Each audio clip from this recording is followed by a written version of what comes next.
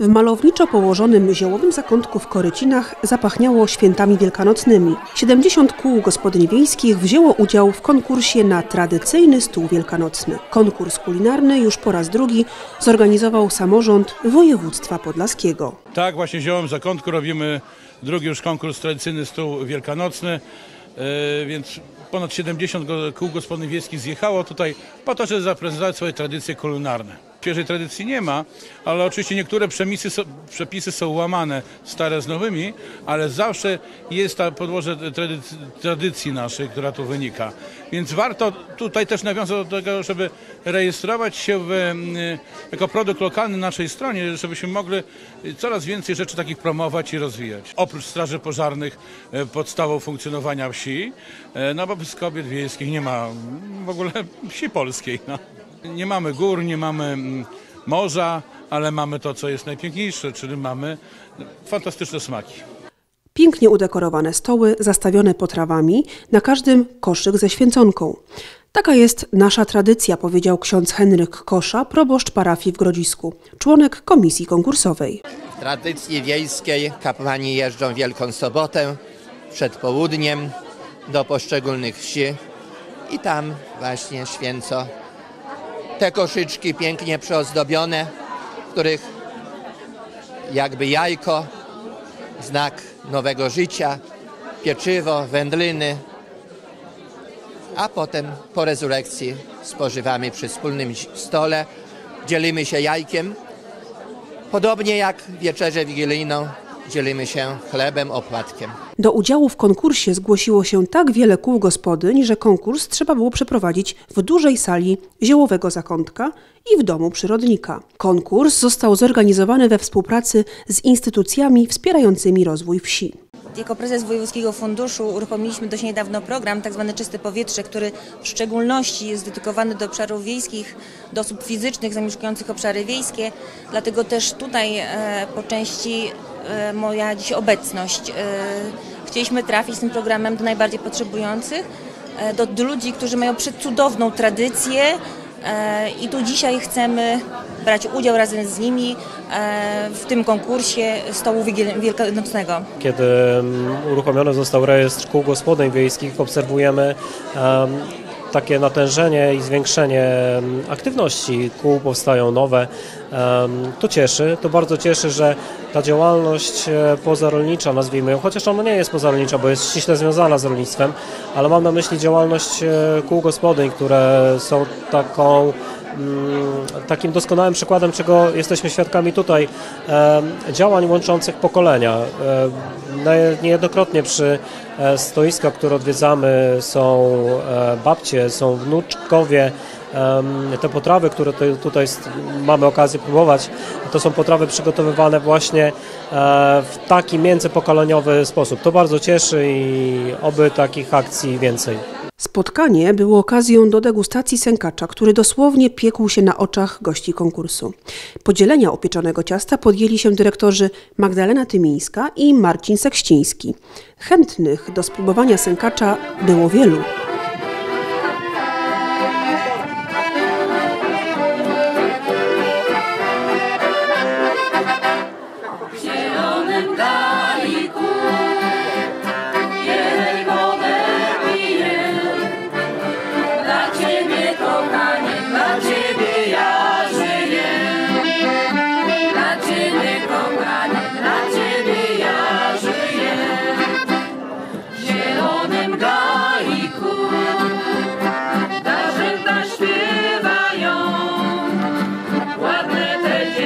他走不掉。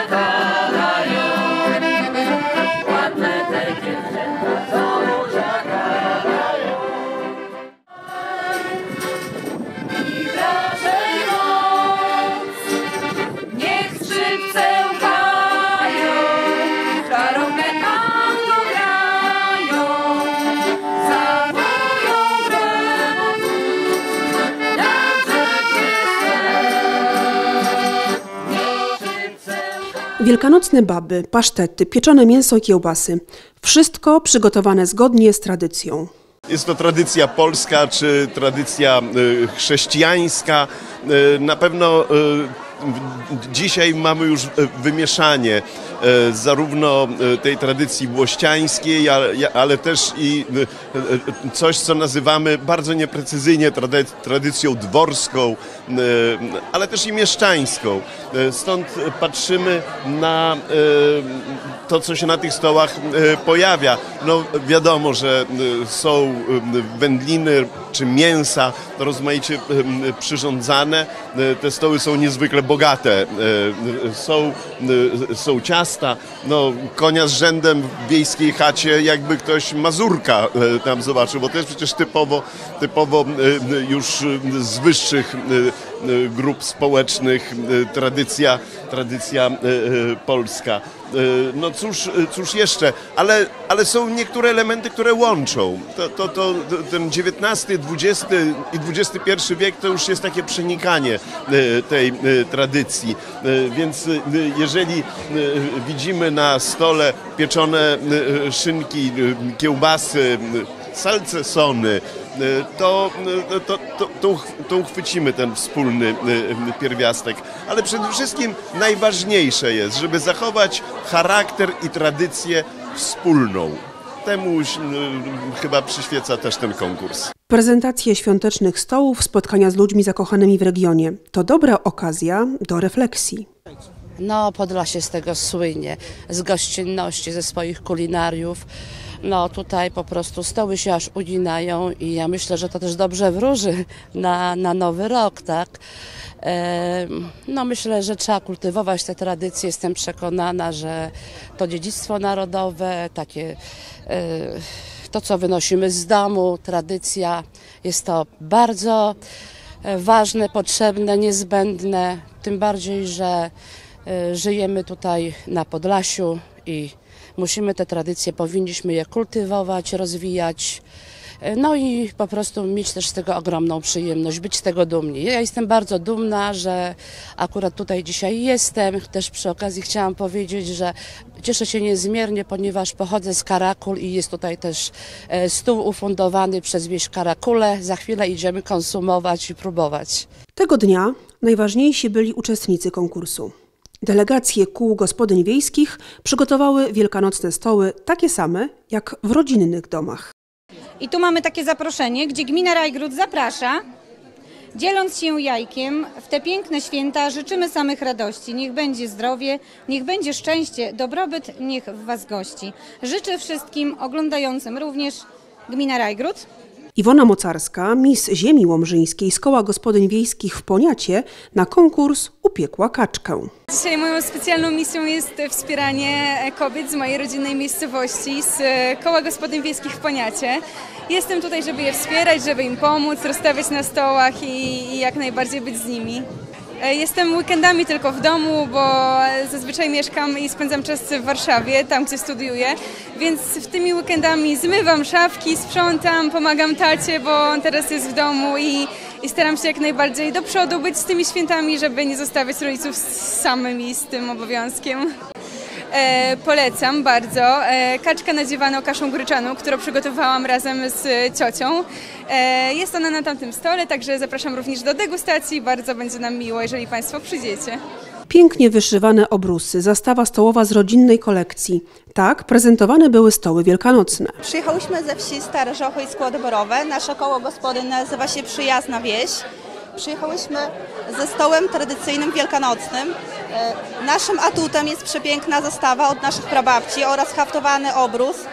E, Mamy liczne dania, które wyhodowałyśmy oczywiście wszystkie same.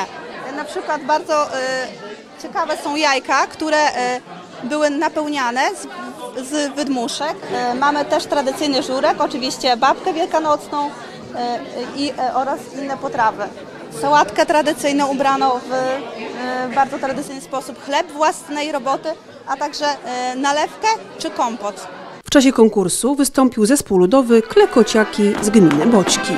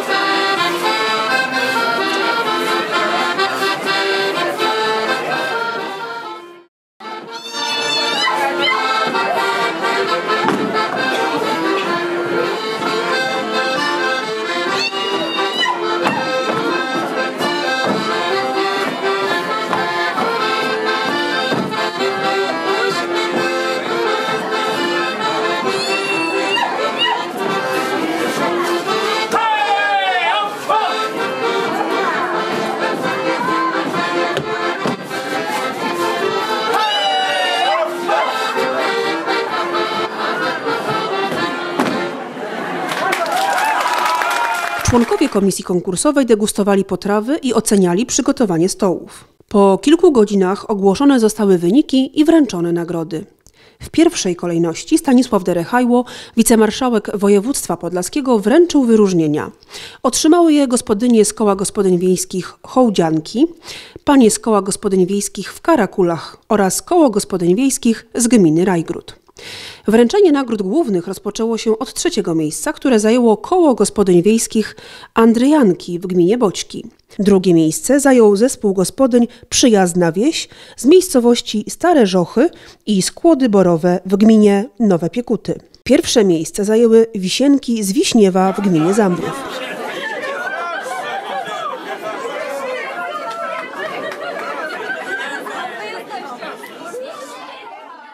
Nagrodę specjalną od firmy Kontraktus zdobyło koło gospodyń wiejskich w Lemanie w gminie Turośl. Koło Gospodyń Wiejskich w Lemanie.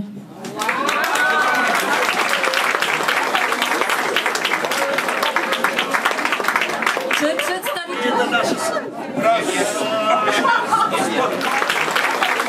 Nagrody wręczyli także pracownicy instytucji i firm wspierających organizację konkursu.